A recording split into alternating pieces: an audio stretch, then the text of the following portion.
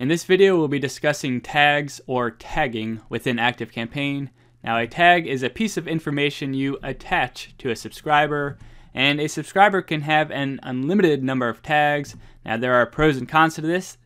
Since you can have an unlimited number of tags, there's a lot of flexibility, but also, since you can have an unlimited number of tags, there's a lot of room to make things very, very complicated.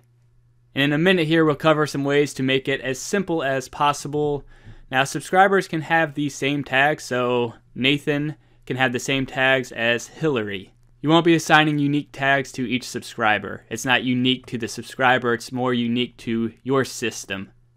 Now you can add and remove tags, and you can do this during when somebody opts in, so somebody enters their contact information into an opt in form, or they purchase a product or a service from you, or they click a link in an email, or they view a page on your website if you have the site tracking installed on your website. If they open an email, you could add or remove a tag.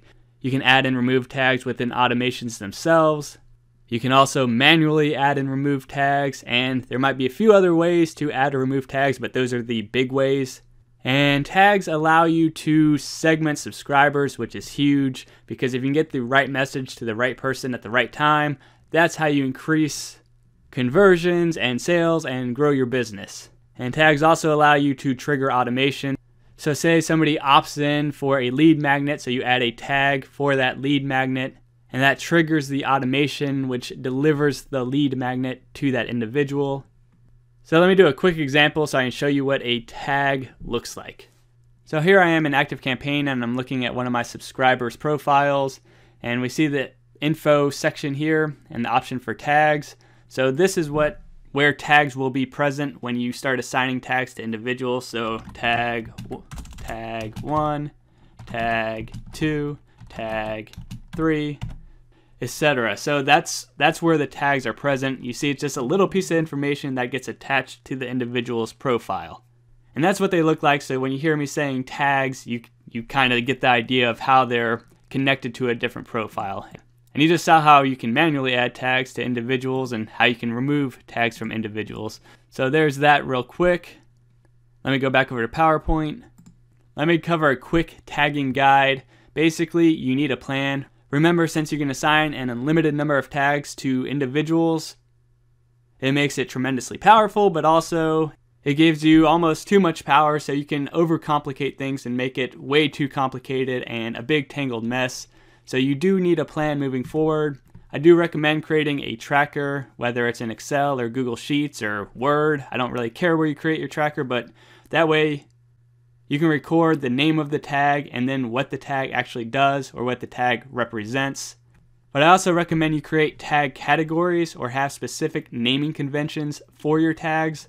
For example, some of the tag categories that I use are as follows. I have purchase, colon, product or service name, LM for lead magnet, and the lead magnet's name right there, then interest and the topic. So if somebody shows interest in a particular topic, I can assign a tag for that.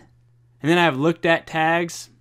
So if they look at a specific product or service or a piece of content that I designate as significant, I can go ahead and assign a tag to that individual so I can keep track of what they've looked at so I can send them emails and correspondence based on what they've already looked at. Funnel and then funnel name. So if they're within a specific micro sales funnel, like a webinar funnel or maybe a classic sales funnel so that way I can keep track of what funnels they're in at this point in time. And then I also use an active tag, and I'm going to go over this in much greater detail later on in this course.